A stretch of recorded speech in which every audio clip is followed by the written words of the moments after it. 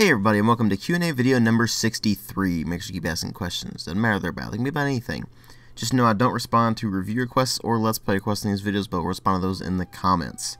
Once again, a review request is what do you think about insert game here. Those are not for Q&As, those are review requests. They will get added to the list if they're not already on the list. And that's pretty much it. Now, if you want to know what I think about a specific feature of a game or something surrounding it in the news or something like that, that's fair game, but don't just ask me about what I think about insert game here. Gameplay in the background is of Mount & Blade Warband because it ties in very heavily with the fourth question for this Q&A. But let's go ahead and start with a pretty quick one. Nuku asks, what kind of beverage do you prefer to relax or while gaming? Normally, I prefer to have something that will just make sure I'm awake, so something caffeinated, whether it be tea or a soda, with the latter being better at keeping me awake because it has sugar in it, and that provides more energy while I'm doing things. But generally speaking, when I'm trying to relax, I'll look for something a bit more like a tea or like a hot chocolate or something like that. And on rare occasions, usually just special occasions, like holidays or something like that, I will break out some alcohol and drink some of that, but I don't drink very much. I really don't like the taste of alcohol, so it's really more of just a single drink to be like, Prost! for whatever it is. So don't expect to see Tipsy DW ever because that just doesn't happen. Anyway, let's move on to a question from Matoro Zelif, and he worded it very awkwardly, so I'm going to translate for him. He's basically wondering what I think the reason for sports games being released every year when uh, extreme sports games are not released every year is. The simple reason for it is that extreme sports just don't have the, anywhere near the market that normal sports do. I can name exactly one person that I know who snowboards, for example, and that's it. At least off top of my head, anyway. I'd have to ask other people around if they do anything like that. I don't think I know anybody who skateboards anymore and that sort of thing is just a far more niche market than, say, basketball or American football or soccer. And for some bizarre reason, people will continue to pay for just roster updates that are released every single year for 60 bucks and who knows why they'll pay full price for it, but they do, so they keep putting out a yearly release of the same damn thing over and over and over again. Whereas extreme sports games are only released once in a blue moon and they don't do anywhere near as well, just because the market really isn't there. Really, the only one of those that was majorly successful, as far as I can tell, is Tony Hawk's Pro Skater, and that's only because it has Tony Hawk's name attached to it, and because a lot of people have nostalgia for that series because they just picked it up during the 90s when it was cool to be skateboarding. Now it's just kind of like a eh, whatever thing. So nobody really cares anymore at least as far as I can tell, but in society at large anyway. There are a few people who still are into that sort of thing, but because the market isn't really that big for a, a skating game or a snowboarding game or something like that, they just don't put them out all that much. Next one is from Fusion Bunny. Season passes have become the main downside of gaming in 2015. That's very debatable. How do we deal with this, and will other elements like DLC and pay to win ever truly die out? DLC probably won't because people keep paying for it. And honestly, DLC is only really a problem when it feels like they just ripped it out of the game to sell it on the side later. If it's things like cosmetics, I don't really mind those as much. I just don't get them. And if it's things like expansion packs that come out much later on down the line, for example, Dragon Age Inquisition's Trespasser DLC, then I'm less irritated about that sort of thing than I am about, say, the From Ashes DLC for Mass Effect 3 that was released on day one. Day one DLC is abhorrent, and frankly, it's just absolutely disgusting that they're able to get away with it. But people don't vote with their wallets, so it's going to keep happening. Pay to win is the same way. People don't vote with their wallets, so it keeps happening. Season passes, same thing, but I don't really see those going away either simply because people refuse to vote with their wallets yet again. They look at a game that is released with a fairly low amount of content and they just go, oh, well, I'll get the season pass and then I'll have access to all this content later on down the line, and I have no idea how good or bad it's going to be. It's pre order culture at its finest, really, where season passes are a straight up pre order. They are a pre order of DLC. And to be able to do away with that, we would have to do away with pre-order culture entirely, which obviously is not going to happen, considering how many people have both pre-ordered Fallout 4 as well as Star Wars Battlefront with its Season Pass, even though we have no idea what amount of content is going to be added in that Season Pass and so on and so forth. It's just frankly disgusting and depressing that we've hit a point where Pre-order culture is just not going away, even though it serves literally no purpose other than to pad the uh, wallets of major corporations. And for some reason, people have absolutely no patience whatsoever and can't wait for a few days down the line or a few weeks down the line when the thing goes on sale and they can get it for a cheaper price. Nope, gotta have it now, so we gotta pre-order things and blah blah blah. It's just a vicious cycle that's going to keep repeating itself if we don't actually vote with our wallets and stop doing that. But unfortunately, people just refuse to do that because whatever reason.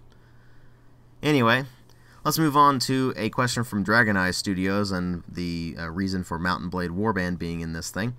What's your opinion on games that revolve around a more sandbox experience, such as Mount & Blade or the X series? Do you find the idea of storytelling through personal experiences in a sandbox game appealing, or do you find it open-ended to the point where you don't feel invested enough to care? Depends on the game. If it's like Minecraft and there is no point to the game at all, then I don't like that because I feel like I have absolutely no direction whatsoever. I don't have a springboard to go off of, and it just lets me loose to just do whatever, and I don't play games to do whatever necessarily. I play games for a more targeted experience and when it comes to something like, say, Mount & Blade, it gives you a lot of opportunities to just kind of do what you want to do. If you want to be a merchant, you can be a merchant. If you want to become a vassal to a lord and lead your faction to victory, you can do that. If you want to be a bandit, you can do that. If you want to be a uh, starter of your, your own faction and just rule all of Calradia and things like that, you can do all that sort of thing. And the game gives you the tools to do that right from the beginning and tells you, hey, you can do all this kind of stuff if you want to, but we're just going to leave it up to you where you go from here. And from there, you can craft the tale of your own specific character. Where, for example, you decide to make a female adventurer and you go to try to sign up with a bunch of the uh, various lords, and at least one of them makes you their vassal, but they never reward you properly because this being a medieval society and your character being a woman, they just see it as just being absurd to reward you with fiefs and such like that. So what you do instead is you say, screw this, you rise up against your lord, and thus you have the tale of the rise of your character as potential queen of Calradia, and so on and so forth. And you just kind of put things together as you're going along. Some people get more invested in the story than others. I try to do something like that, but more often than not, I play something like a Mount & Blade Warband because I just enjoy the gameplay rather than going in for a specific, I'm going to create a story for myself here. And that is part of the problem because unlike in a more traditional, fairly linear video game where it actually has its own story and such like that, a sandbox game doesn't really have one. And so if it tries to get you to do a more story driven kind of thing where you're creating the story yourself, it has to be handled pretty delicately. And most of these games don't do that, so they just kind of say, okay, well, we're going to provide all the gameplay, you do what you want with it. And that's usually what ends up working. Because if people want to create their own stories with that, they can do so. If people don't want to do that and they just want to play the game, then they can certainly do that as well. And that ends up working out. It's when a sandbox game tries to force a story on you, or a sandbox game provides not anywhere near enough initial direction to get you going in a more story driven sense that it becomes problematic for the actual storytelling. But ultimately, it's just up to the imagination of the player and what the game gives them to work with. And finally, we have a question from American Soldier, which will probably be controversial for at least some of you because I know a lot of you Europeans are very, very vehement in your stances on this, in particular, Europeans anyway. What is your stance on guns and the Second Amendment? Do you think guns need more regulations or is something like that futile? Well, first things first. All that gun legislation that people keep parroting around doesn't really work in the US because it's not the guns that are the problem. And I keep telling people this. It's not the fact that guns are available that is the problem in the US it is that we have a culture of violence. Now you may think, oh well, now DW is going to be ragging against video games and such like that. No, that's more of a reflection of how violent our society is. If you look on the news every single day, you're going to find some report of somebody getting murdered somewhere. Sometimes it's for drugs, sometimes it's just a person that just had enough and just ended up killing their spouse or something like that. Regardless, sure, it's tragic, but we're constantly having this reinforced to where one of the first solutions for any problem that pops into an American's mind is to commit violence, whether it just be beating someone up or outright killing them, or in the case of things like what's going on in the Middle East right now, there are tons of people calling out for just straight up invasions and such like that. It is mind blowing just how incredibly prevalent violence is in American culture. And I'm not even really sure how we managed to get to this point considering where we've been in the past, but it's at the point where people are just programmed to behave incredibly impulsively in American culture. We are programmed to just do whatever comes immediately to mind and not really think of what it's going to do. And so the first thing that comes to people's mind a lot of the times is to grab a gun and shoot somebody. And when you're having this both reflected and reinforced in your media, where sure it's constantly reflected in our violent video games, in our violent movies, in our violent TV shows, in our violent music, etc., it's being reinforced by both this prevalence of it in those medias as well as the weird status it has in, for example, our news where, like I said, you see this on the news all the time. But then when something really tragic, like, say, Sandy Hook happens, not only is it constantly on the news being parroted over and over and over again, but the way the media constantly reports this stuff, it ends up turning these really horrifyingly messed up people into celebrities. And it's just downright disgusting what we have come to to where instead of focusing on the victims, instead of focusing on just trying to prevent this cycle of violence in the future, trying to focus on things like improving our social safety nets for the poor and disenfranchised, things like improving our frankly horrendous mental health care system, instead of improving opportunities for people who are just under ridiculous amounts of stress to just outright be able to decompress because I don't know if you guys know this, if you're especially not from the US, Americans are under a ridiculous amount of stress every single day. And part of it comes from the fact that we usually work a ridiculous amount of hours every single week and yet don't have any vacation time, or we don't have any paid time off of any kind. For example, if you are a pregnant mother and you need time off for maternity leave, you can't get that at a lot of American companies. They just won't do it and you need to start taking vacation time for that. And they don't give any uh, paternity leave either for uh, fathers. So, right off the bat, that's causing a lot of stress. You got the stress that most Americans, as far as I'm aware, are in some kind of debt where it's either a mortgage or student loans, which is just frankly ridiculous or healthcare bills or any number of these other things to where that's adding stress on their lives. Most of the stress that Americans face is actually related to finances in some regard. But regardless, all of this stuff just keeps being piled on, and that's in no small part a contributor to how much mental illness we have in this country. Most of it's depression.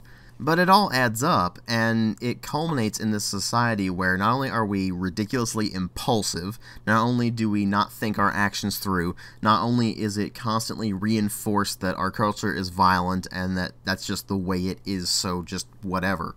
Not only do we have all these mental health care problems, not only do we have not only do we have basically no safety nets whatsoever for the people who fall through the cracks, but what ends up happening is we have this culture that whenever a tragedy occurs, we say we want to do things and then we just refuse to change anything. And it's mostly out of this idea that, oh, it would cost too much or it's too difficult, so why bother doing it? And so what usually ends up happening is the public in general just decides to jump on a scapegoat because that's a lot easier to do. And a lot of cases, the scapegoat is guns Vast, vast majority of gun owners are incredibly responsible people. There are a few that make everybody else look really terrible, obviously, but the vast majority are perfectly fine people and you have nothing to worry about from them. They're law abiding citizens. They're not going to do anything negative with their uh, firearms.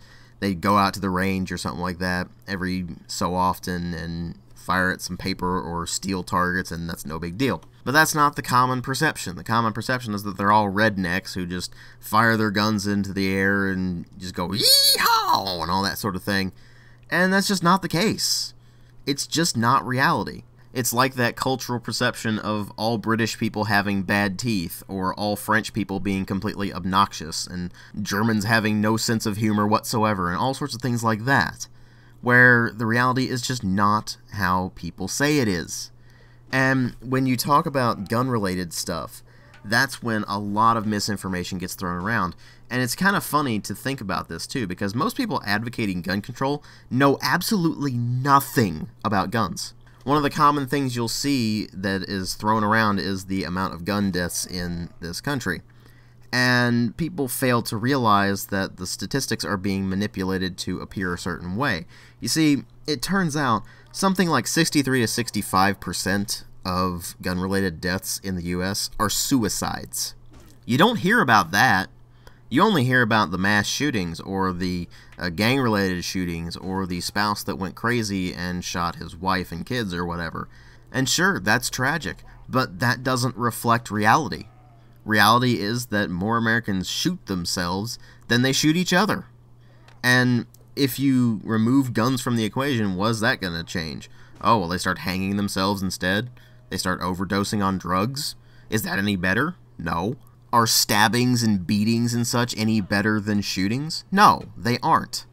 And yet people seem to think that this is just somehow a cure all, just to remove guns from the equation and therefore it's going to fix itself. No. You fix the underlying problems that cause the violence in the first place, and you won't need to worry about guns. They're not the problem. A gun is a tool. It's the person wielding the tool that decides how it gets used and the vast, vast majority of gun owners in this country are perfectly fine people. They're not going to use it for any nefarious purposes whatsoever. There's that minority that do. And most of them don't give a crap about what the laws say anyway. So, what would this solve? It would take guns out of law abiding citizens' hands and just keep them in the hands of criminals. Because that sounds so much better than just having a citizenry that can actually defend itself. Here's another thing that you need to keep in mind when it comes to the U.S. The ability to bear firearms is a constitutional right in the U.S. It's not in any other country as far as I can tell. In Europe, it's a privilege. In Australia, it's a privilege. In the U.S., it is a right confirmed by the Constitution. Americans have the right to carry firearms and defend themselves with them. This is not a right granted to them by the Constitution, it is confirmed by it. You have to keep in mind, this nation was founded by average citizens. It was not founded by a monarchy that then granted a bunch of rights to its citizens, like it did in Great Britain, for example. But more important than the constitutional implications of this is this simple fact.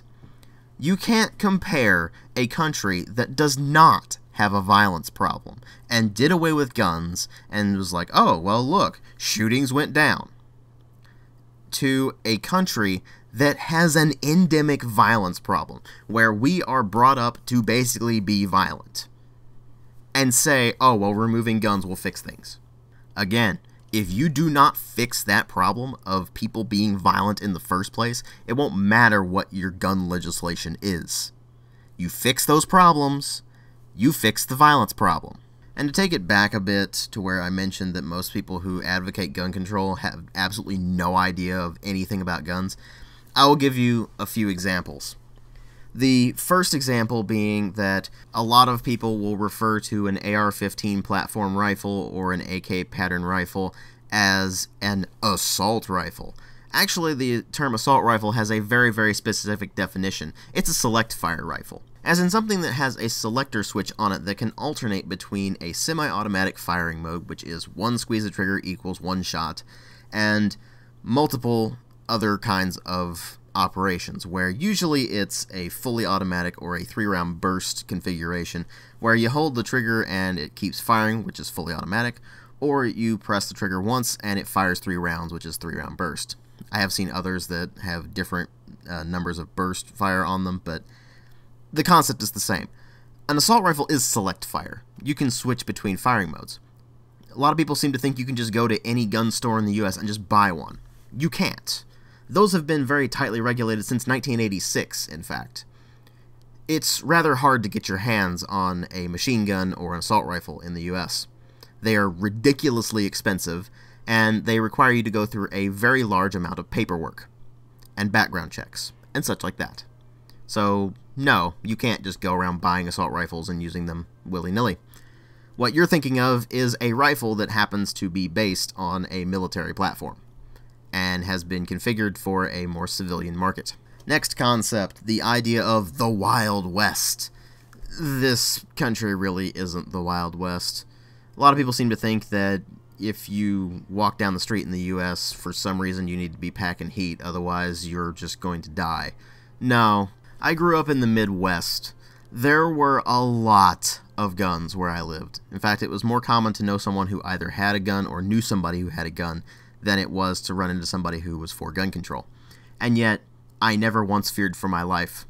I never once felt the need to carry a firearm, and not once did I ever feel the need to own one even when going through areas of town that were considered especially bad, things that were uh, riddled with, for example, drugs and that sort of thing, I never really felt the need.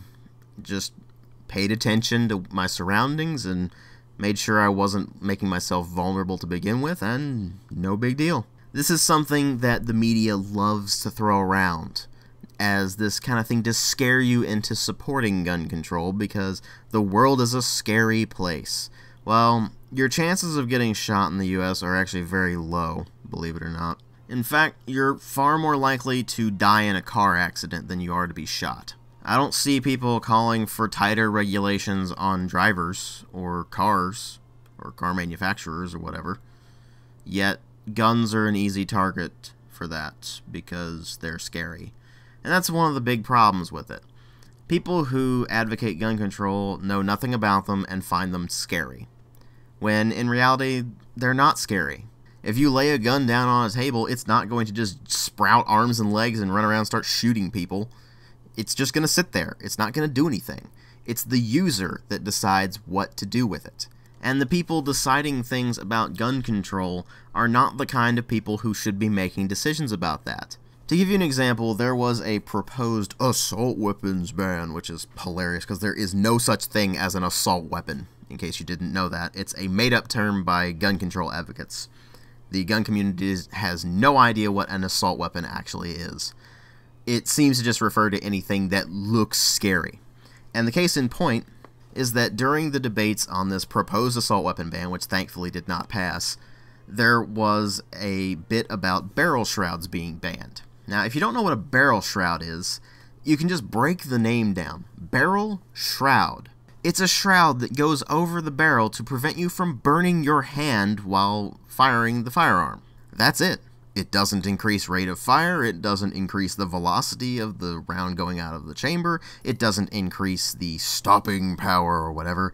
It just looks scary to a lot of gun control advocates, so they're just like, well, we should ban this thing. And the even funnier part about this was when asked about what a barrel shroud was, if they even knew what it was, one of the proponents of this proposed legislation literally told the person asking them, Is that the shoulder thing that goes up?